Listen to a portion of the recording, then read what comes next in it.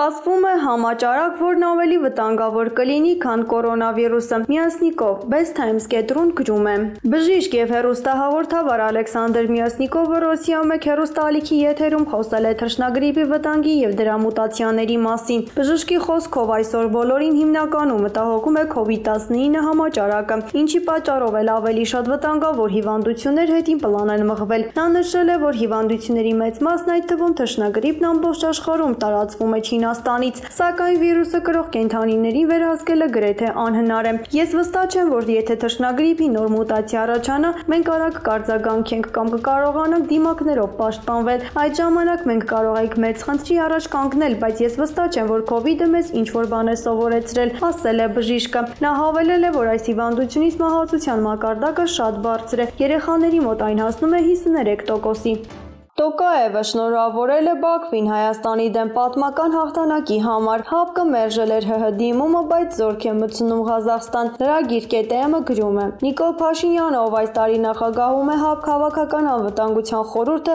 տեղեկացրել է, որ Ղազախստանի նախագահ Կասիմ Ժոմար Տոկաևի դիմումի հիման վրա ՀԱՊԿ հավաքական անվտանգության խորհուրդը որոշում է կայացրել Ղազախստան ուղարկել ՀԱՊԿ հավաքական խաղաղապահ ուժեր։ Այդ երկրում իրավիճակի կայունացման եւ կարգավորման նպատակով Տոկաևը հայտարարել է, որ Ղազախստան ագրեսիայի է ենթարկվել դրսից ահաբեկչական խմբավորումների կողմից։ Փաշինյանի գրառման մեջ նույնպես նշվում է արտաքին միջամտության հանգամանքը։ Արտաքին միջամտությունը ՀԱԲ զորքեր մտցնելու պայմանն է։ Ճիշտ է, այս կազմակերպության կանոնադրության մեջ փոփոխություններ են արվել, ըստ որոնց ՀԱԲ-ը կարող է արդեն միջամտել նաև անդամ երկրների սահմանադրական կարգին սպառնացող վտանգի բարագայում, սակայն դա քիչ ինչ տհաճ հանգամանք է տվյալ երկրի ղեկավարության եւ նույնիսկ ՀԱԲ-ի համար, առավել եւս այդ կազմակերպության բնույթի եւ իրական նպատակների պայմաններում։ Ղազախստանի ղեկավարությունը դիմել է արտաքին ագրեսիայի հիմքով Եվրասիական կլուբի երկրների բռնապետական ռեժիմների համար արտաքին դավադրություններին հղումը միակ հնարքն է։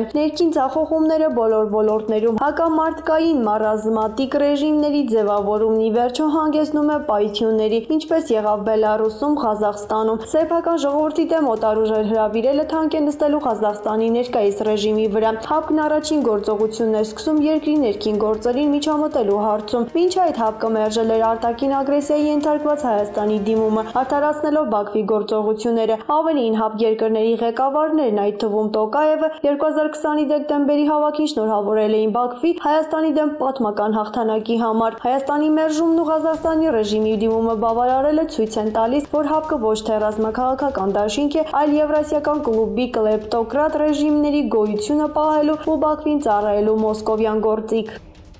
Ձեզնից ձեռք չենք քաշելու։ Դեռ շատ անելիք ունենք։ Ռուսաստանի Դաշնության դեսպանը հայերին։ Լրագիր ԿՏԵՄ գրում է. Մեր երկրների արչև ծառացած մարտահրավերներն ապացուցեցին, որ ռուս-հայկական դաշնակցային հարաբերությունները պարզապես խոսքեր չեն։ Դրանց հետևում կոնկրետ գործեր են։ Մենք միասին անցել ենք մեծ ճանապարհ, դեռ անելիքներ շատ ունենք։ Հավատացած եմ, որ մեր դարավոր բարեկամության պատմությունը հետագայում եւս կհամալրվի համատեղ հաջողությունների ու ձեռքբերումների փառավոր էջերով։ Սա մեջբերում է Հայաստանում Ռուսաստանի Դաշնության դեսպան, իրականում Հայաստանի երկրորդ քարտուղար Կոպիրկինի Ամանորի ուղերձից։ Մեկ այլ պարագայում սա կարելի էր կամ դեսպանի չկմեղանք կամ ծաղր համարել հայ ժողովրդի հասցեին։ Տվյալ պարագայում սակայն դեսպանը մանրամասնում է Ռուսաստանի Դաշնության նախագահ Պուտինի Հայաստանի Հանրապետության նախագահին Ամանորի ուղերձի թեզերը։ Ձեզնից ձեռք չենք քաշելու, դեռ շատ անելիք ունենք, ասում է դեսպանը։ Ռուսական պաշտոնական տեքստերում արդեն իսկ եղբայրական դար հարավոր բարեկամություն եզրերի արկայությունը գուժում է հայերի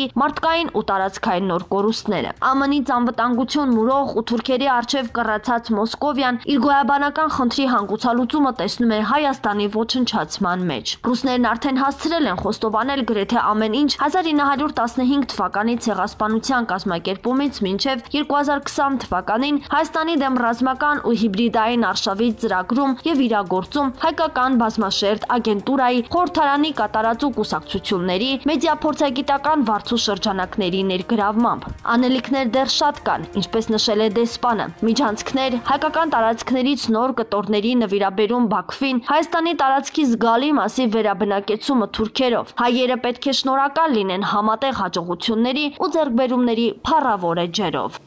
Եթե Պուտինը ապրիլյանի 4-րդ օրը չկանխեր, Սերժը ստիպված կլիներ ստորագրել կապիտուլյացիայի ակտը, քանի որ 2016 թվականին Սերժը Ալիևի հետ գործարքեր կնքել 5 միլիարդի դիմաց։ Սոնա Արշունեցի United Armenia կետրոն գրում է։ Սոնա Արշունեցին իր էջում գրել է. Ժողովուրդ ջան, բոլորս էլ գիտենք, որ ապրիլյան քարորիա պատերազմը Պուտինը կասեցրեց։ 4 օրում տվեցինք 120 զոհ, իսկ այս 44 օրյա պատերազմի ժամանակ տված մոտ 4000 զոհ։ Դուք հաշվարկել եք, եթե ապրիլյան 4 օրյա պատերազմը շարունակվեր, նախ Ալիևը ողջ Արցախը կվերցներ եւ զոհերի թիվն էլ անհամեմատ շատ մեծ կլիներ։ Քանզի նախ 44 օր չէր էլ դիմանա մեր բանակը, քանի որ մեր բանակը պատրաստ չէր պատերազմի։ Զինված չէր, թեև Սեյրան Օհանյանը շատ անգամ էր հայտարարում, թող Ադրբեջանը մի հատ փորձի պատերազմել, հայկական բանակը շատ հզոր է ու մենք նոր տարածքներ կգրավենք։ Սակայն ապրիլյան պատերազմը հակառակն ապացուցեց, որ մեր բանակը զինված չէր։ Գրվում էր 80-ականների զենքերով եւ եթե Պուտինը 4-րդ օրը չկանխեր, հենց ապրիլյան պատերազմին Սերժ Սարգսյանը ստիպված կլիներ ստորագրել կապիտուլյացիայի ակտը, տալով ամբողջ Արցախը։ Այժմ որ մեր վարչապետին կապիտուլյանտ են պիտակում, հող տվող, բա 4-օրյա պատերազմին դու Սերժ Սարգսյան 800 հեկտար անպետք հողերը չտվեցիր, 23 ռազմավարական բարձունքներն էլ հետը, որը օգնեց Ադրբեջանին այս 44-օրյա պատերազմի հաղթանակին։